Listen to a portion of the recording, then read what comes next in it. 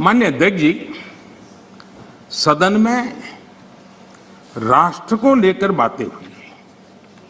ये बातें हैरान करने वाली है। मैं मेरी बात रखने से पहले एक बात दोहराना चाहता हूँ और मैं कोट कर रहा हूँ।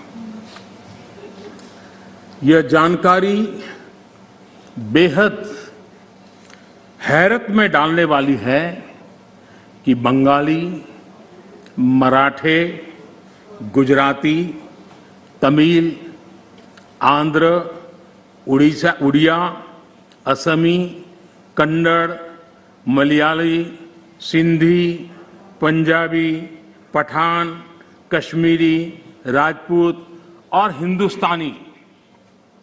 भाषा भाषी जनता से बसा हुआ विशाल मध्य भाग कैसे सैकड़ों वर्षों से अपनी अलग पहचान बनाए हैं।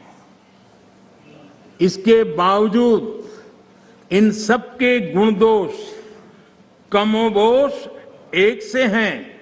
इसकी जानकारी पुरानी परंपरा और अभिलेखों से मिलती है।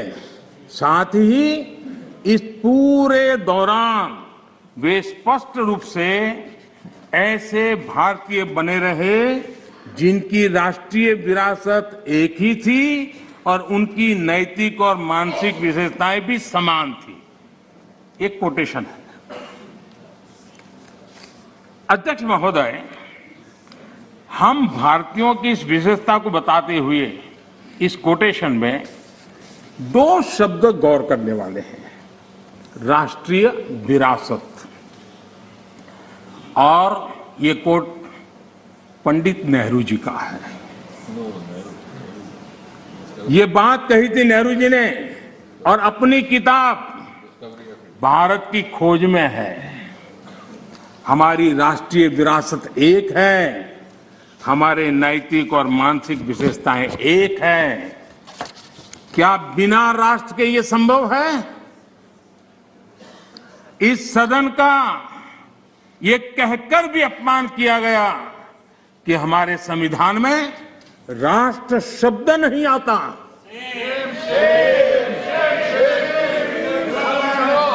संविधान की प्रस्तावना में लिखा, राष्ट्र पढ़ने में ना आए, ये हो नहीं सकता है। कांग्रेस ये अपमान क्यों कर रही है? मैं इस पर विस्तार से अपनी बात रखूँगा। मान्य अध्यक्ष जी, राष्ट्र कोई सत्ता या सरकार की व्यवस्था नहीं है। मान्य अध्यक्ष जी, हमारे लिए राष्ट्र एक जीवित आत्मा है।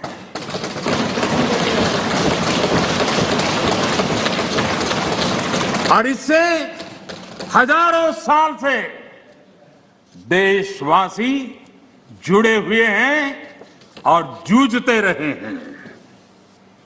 हमारे यहाँ विष्णु पुराण में कहा गया है, ये किसी भाजपा वाले ने नहीं लिखा है। विष्णु पुराण में कहा गया है, उत्तरम यत समुद्र हिमाद्रश्च दक्षिणम। वर्ष तद भारतम नाम भारतीय यत्र संतति ही।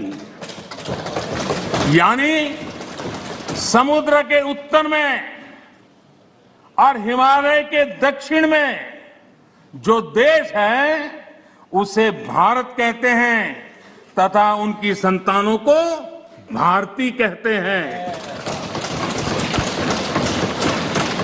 विष्णु पुराण का ये श्लोक अगर कांग्रेस के लोगों को स्वीकार्य नहीं है तो मैं एक और कोट इस्तेमाल करूँगा। क्योंकि कुछ चीज़ों से आपको एलर्जी हो सकती है।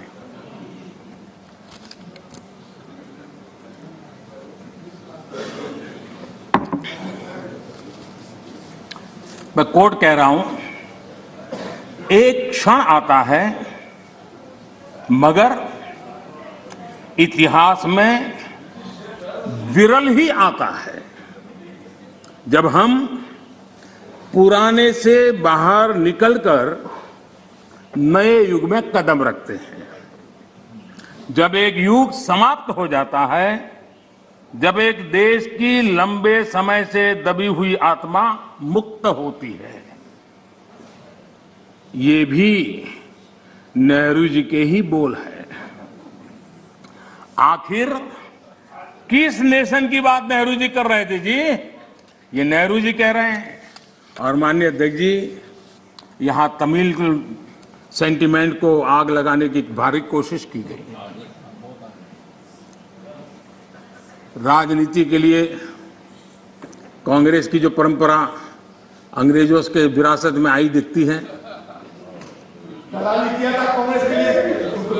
तोड़ो तोड़ो तोड़ो और राज करो, तोड़ो और राज करो, बांटो और राज करो। लेकिन मैं आज तमिल भाषा के महाकवि मान्य अध्यक्ष जी, तमिल भाषा के महाकवि और स्वतंत्र सेनानी आदरणीय सुब्रमण्यम भारती ने जो लिखा था, मैं यहाँ दोहराना चाहता हूँ। तमिल भाषी लोग मुझे क्षमा करें।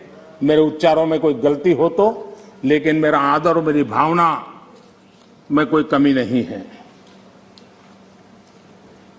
सुब्रमण्यम भारती जी ने कहा था, मन्नुम इमय मलय, एंगल मलय। पन्नरुम उपनिट नुलेंगल नुले। पार मिसे ऐधोरु नुल इधु पोले। पोन निलोर? भारत नांडेगल नाडे। पोट रुवोम इकते इमक किलेडे। इसका भावार्थ जो उपलब्ध है, वो इस तरह का है। सुब्रमण्यम भारती जी कहते हैं, जो उन्होंने तमिल भाषा में कहा है, उसको मैं अनुवाद जो भाव मुझे उपलब्ध हुआ है, मैं कह रहा हूँ, सम्मानित जो सकल विश्व में, सम्मानित जो सकल विश्व में महिमा जिनकी बहुत रही है, महिमा जिनकी बहुत रही है, अमर ग्रंथ से वे सभी हमारे, अमर ग्रंथ वे सभी हमारे उपनिषदों का देश यही है। सुब्रमण्यम भारती कह रहे हैं, गाएँगे यस हम सब इसका। गाएँगे यस हम सब इसका। यह है स्वर्णिम देश हमारा। यह है स्वर्णिम देश हमारा। आगे कौन जगत में हमसे आगे कौन जगत में हमसे? यह है भारत देश हमारा। यह है भारत देश हमारा। ये सुब्रमण्यम भारती जी की कविता का भाव है।